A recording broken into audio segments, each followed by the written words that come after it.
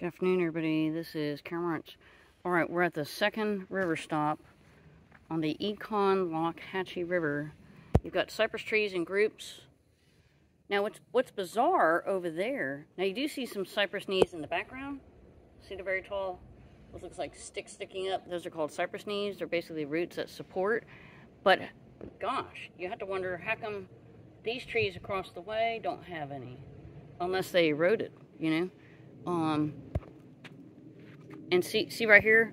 Yeah, it must have been an erosion situation. And remember, we had a hurricane last year, Hurricane Ian and then Nicole. So this is a cypress knee. Had to be, and see right below me?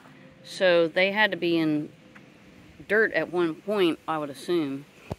And then here's a huge cypress tree.